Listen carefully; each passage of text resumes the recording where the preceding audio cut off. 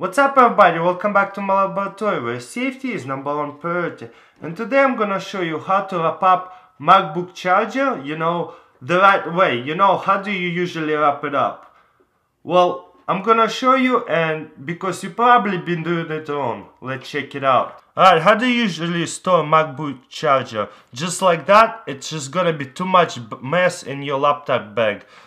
But the secret is, so first of all, you want to separate the wires. Here's the thinner one and thicker one right here. And right here, on the side, you got two little flaps.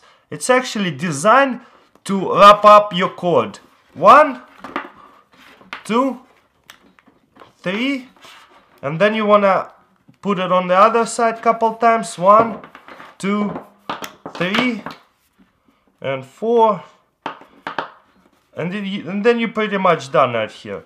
And then you want to wrap put around between the labs the thinner wire right here. Boom, boom, boom.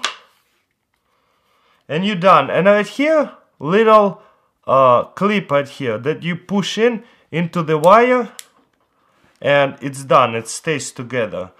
And now you have a charger that takes off a little bit of a space and not a mess in your laptop bag. How awesome is that? This is how you're supposed to wrap it up your MacBook charger. Alright guys, that's pretty much it. Hopefully you can use this stick now. Let me know what do you think in comments below. If you like this video, thumbs up.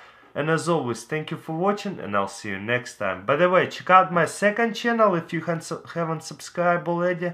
Links in description. And yeah, hopefully this will change your life.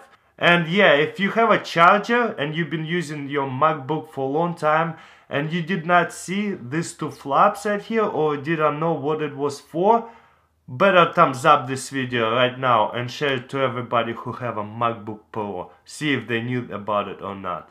Anyways, thank you for watching and I'll see you next time.